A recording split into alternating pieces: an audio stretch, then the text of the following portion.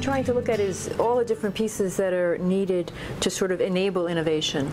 And um, I'm also the co-chair of the U.S.-Ireland Research and Development Partnership, and that's a partnership between the United States, the Republic of Ireland, and Northern Ireland, mm -hmm. where we try to promote cooperative research in areas that are very important for economic growth, like nanoscience, mm. telecommunication, energy, health.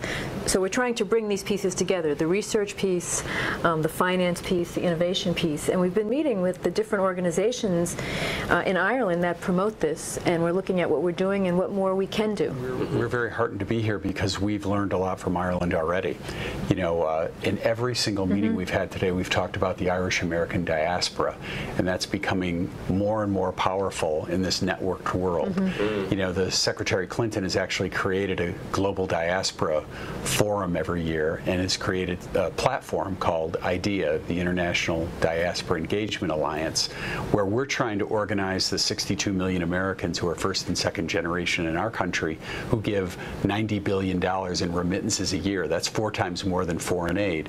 So one of the things the Secretary wanted to do coming into the State Department is to, you know, look at this new uh, 21st century diplomacy. So instead of leaders talking to leaders, mm -hmm. we've got people talking to people, um, culturally, politically, and economically. And uh, it's uh, that is something we learned from Ireland. That is something we learned mm -hmm. from uh, the secretary came up with this idea because she saw the power of the Irish American diaspora in the United States with the Good Friday agreements.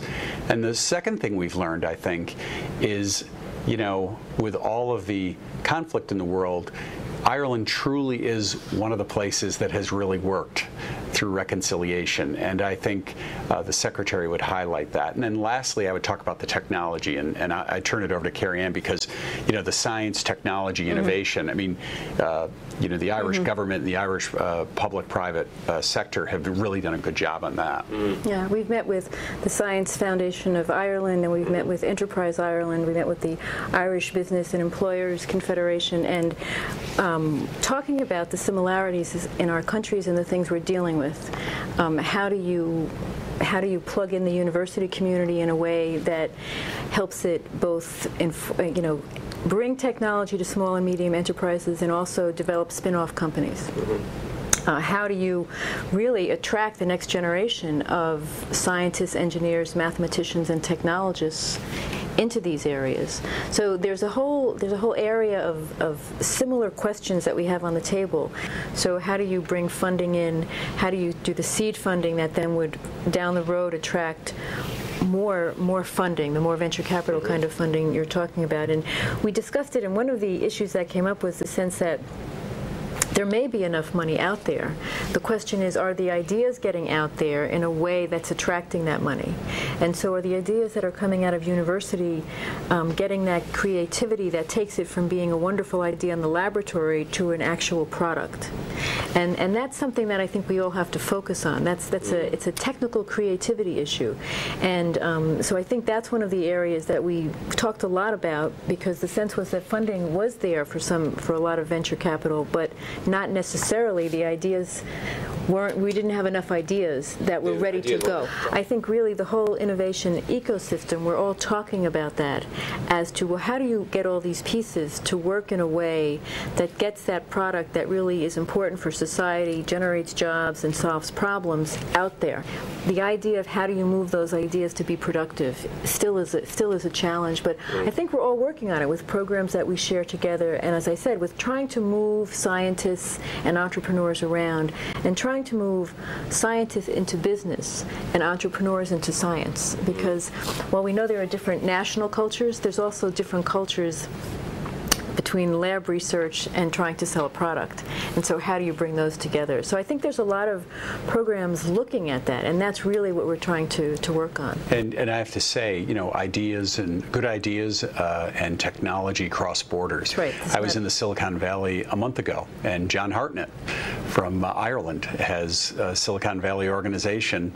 Uh, went over there with, a, uh, with an Irish network, with uh, the Irish market and ideas ideas and is now we're we've invited him to work on our global diaspora project because he's helping other countries, Bangladesh and India and, Sure. and other countries, how to do it. And because it's networking, you know, um, if you have a good idea, nobody's going to, uh, not, not, most people aren't going to stop you from trying to implement it. You go to the Silicon Valley. This is the beauty of diversity uh, in, in, in our countries because you go to the Silicon Valley, over 50% of the companies that are created in the last 10 years, they're created by people who were not born in the United States. And so this is, you know, a very exciting trend where you're seeing, uh, you know, uh, this borderless system where people are coming up with solutions to problems that uh, we've, you know, had for years. Well, it, it's really the recognition that we are all living in a global research and innovation community now. You know, we used to talk a lot about our national systems, and yes, we all have national systems. We all pay attention to strengthening them, um, but they're all part of this global system because everybody's moving around, and the the ability to move information and people is something that we all have to be out there on because it's dynamic. There's been an effort to really look at the U.S. innovation system. The president came out with an innovation policy a couple of years ago, which really tries to say, how do we keep this moving? How do we build on the diversity in our own country? How do we train more people in science, technology, engineering, and mathematics? So I think the U.S.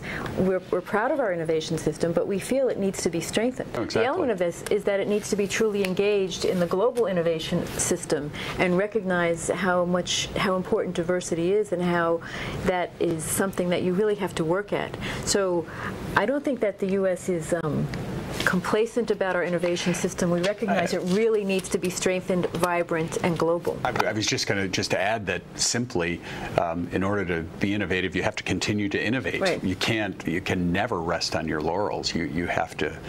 Uh, you have to keep uh, looking at new and different ways Right. to do it. That's the beauty of this diversity that people come with different backgrounds to help you solve problems.